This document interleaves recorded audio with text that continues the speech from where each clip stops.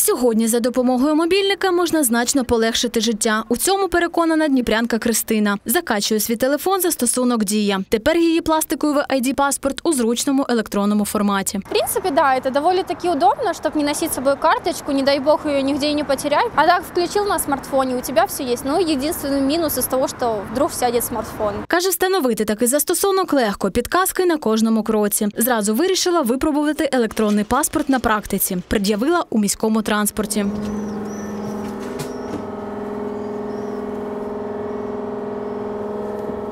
В Україні почали діяти електронні паспорти. Цифрові аналоги мають і ID-картки, і закордонна біометрика. Крім транспорту, такий документ можна пред'являти в банках, медзакладах, крамницях та на пошті. Стане він у пригоді і при поїздках потягом чи літаком. дуже багато питань на рахунок безпеки, підробки. Ну я розумію, що це питання е, у багатьох є.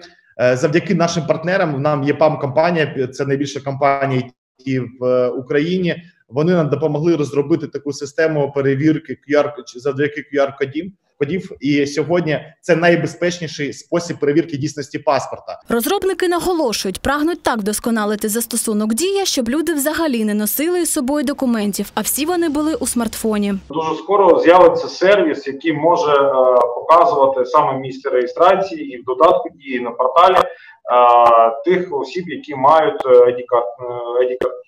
Думаю, що це е, більшість громадян зрозуміють, що це ду- дуже зручно, не паперові документи, і саме та інформація, яка є в реєстрі, вона буде з'являтися в електронному вигляді.